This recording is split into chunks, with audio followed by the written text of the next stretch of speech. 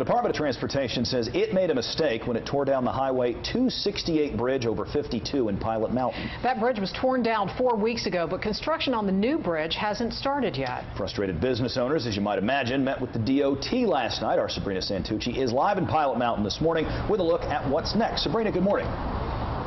Good morning, Kenny and Kim. That's right. Business owners and residents voiced their concerns about this construction project over Highway 52.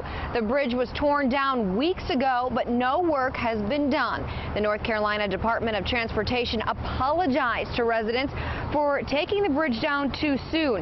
Their plan is to put two crews on the bridge with separate shifts to finish the project in six months.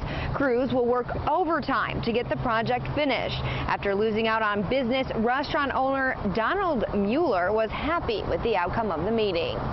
Just hearing that they're going to get people on the bridge, they're going to do everything they can to eliminate delays and get it done in six months, it gives you hope. Okay, you can deal with six months, not a year. The Department of Transportation will not put up a temporary bridge, but they will add safety signs, and they told residents that they'd be better at communicating with them about the progress of the project. Reporting live in Pilot Mountain, Sabrina Santucci, WXII 12 News.